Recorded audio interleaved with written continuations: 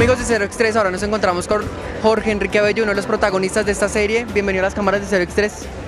Bueno, gracias por estar en nuestro lanzamiento. Eh, estamos muy agradecidos que nos apoyen con, con esta nueva serie. ¿no? Bueno, Jorge, Jorge Enrique, ¿cómo es el papel en donde está Lisa?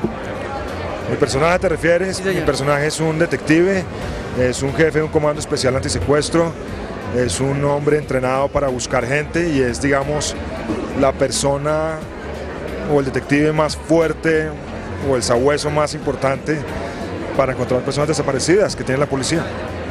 Bueno, Jorge Enrique viene de un papel de a corazón abierto donde tuvo que, me imagino que, eh, prepararse para las palabras, médicos y todo esto, y ahorita manejar armas y todo esto. ¿Cómo fue esa experiencia de prepararse para el personaje?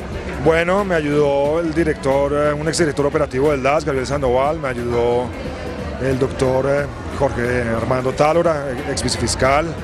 Eh, tuve la oportunidad de entrenar, de estudiar eh, criminalística, de estudiar antiextorsión, antisecuestros, de entrenarme en armas, en eh, operativos, en eh, embarques, desembarcos, de todo. pues.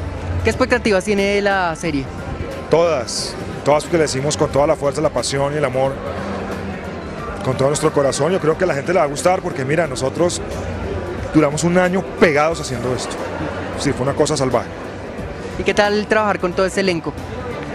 Amigos, compañeros, actores maravillosos, lo mejor del mundo. ¿Ha visitado alguna vez Ibagué?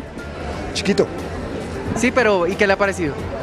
tengo un recuerdo de un hotel con una piscina deliciosa, pero no, no, ¿Cómo es un día cero extra de Jorge Enrique Abello? no sé, por lo general siempre estoy trabajando, si no estoy haciendo tareas con mi hija. Un saludo para toda la gente de Cero Extra de la ciudad de Ibagué.